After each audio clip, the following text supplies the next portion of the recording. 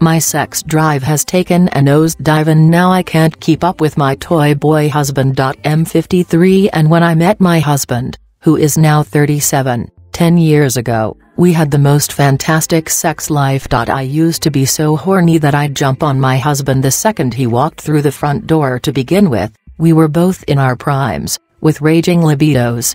What he lacked in experience, he made up for in energy and enthusiasm. We couldn't get enough of each other and sex was a big part of our relationship. We'd do it two or three times a day, every day.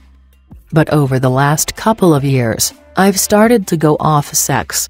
It's not that I don't enjoy it when I am in the mood. I'm just rarely in the mood. Where once I used to fantasize about having sex all day long, now I don't think about it at all. If I'm tired, I'd rather just curl up in bed with a good book and go to sleep. I used to be so horny that I'd jump on my husband the second he walked through the front door. Now, he's always the one to initiate sex.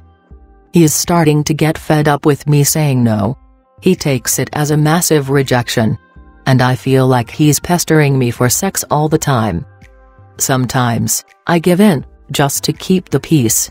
But that leaves me feeling demeaned, and like a sex object. And as I'm not really turned on, penetrative sex can be uncomfortable and leave me sore. He thinks I don't fancy him anymore or that I'm having an affair. Nothing could be further from the truth. We're snapping at each other a lot, and I'm worried that if something doesn't change, our marriage will fail. I still love him as much as ever. The problem is our sex drives no longer match.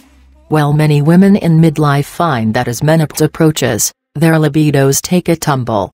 This is due to the loss of female hormones, which probably also explains why you're finding sex uncomfortable. Please don't feel you have to have sex just to please your man. But if you do want to improve your sex drive and solve the discomfort issue, you could make an appointment with your GP to talk about HRT or other menopause treatments. Talk to your husband about this and suggest you should find some sort of compromise.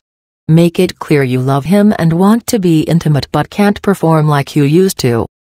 Maybe taking sex more slowly and concentrating on foreplay, cuddling and massage would also help.